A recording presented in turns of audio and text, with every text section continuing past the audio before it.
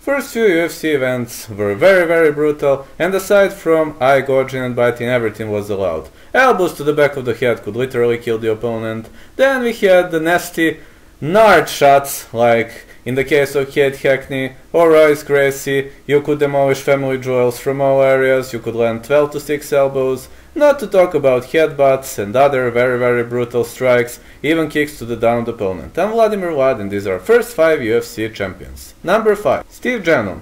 Steve Jennum, also known under the nickname of Ninja Cop, well, he won UFC 3, but you know, he's the first ninjutsu guy who won the championship, but it hid a dark secret, you know. Royce Gracie hurt himself against Kimo Leopoldo, so Harold Howard advanced to the finals, while Ken Shamrock was unable to fight after a submission win over Felix Mitchell due to injury. So Steve Jennum is the only guy who won only once and won UFC tournament.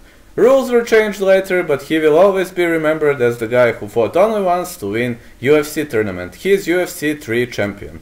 Number 4. Marco Ruas. Marco Ruas is the former UFC 7 champion, the guy who won UFC 7 tournament and the former WBC Superfight champion who defeated Steve Jennum, the former UFC 3 champ. He is also known as the guy who chopped down Paul Varelans to win UFC 7 tournament, but he is also the first Brazilian who won this competition and the first real all-arounded guy who competed in the world of UFC. He's 7th degree black belt in Luta Livre Sportiva, 3rd degree black belt in BJJ, 3rd degree black belt in Judo, 1st degree black belt in Taekwondo, and master rank red and white cord in Capoeira, and master rank in Muay Thai. His MMA score is 9 wins, 4 losses, and 2 draws. What a legend of this sport. Number 3. Oleg Taktarov.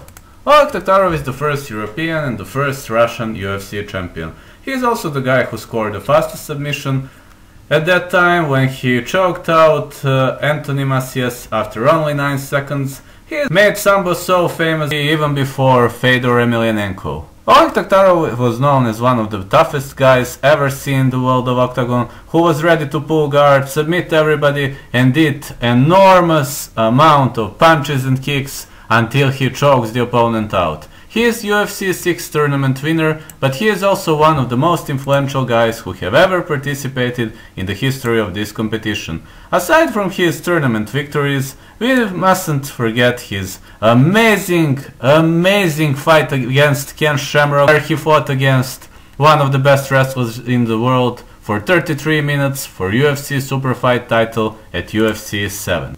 Number 2. Dan Severn.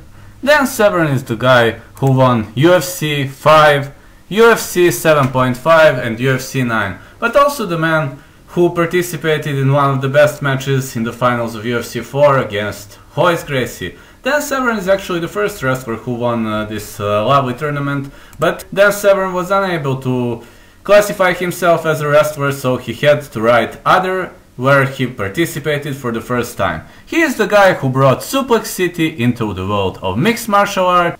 Oh, what a legend. Number 1. Royce Gracie. Royce Gracie is UFC 1, UFC 2 and UFC 4 winner and the guy who fought in the UFC 1 against one Glove Boxer Art Jimmerson, Kate Hackney, and many other names. Many people were shocked how could a man who weighed 180, 185 pounds able to defeat so many heavier and stronger opponents, but he is the most influential BJJ fighter who has ever stepped inside the octagon. He would probably win UFC 3, but he hurt himself against Kimo Leopoldo, so Steve Jennum was able to win that tournament. Royce Gracie also participated in the longest UFC match when he fought Ken Shamrock for 36 minutes. My avid fans, thanks for watching.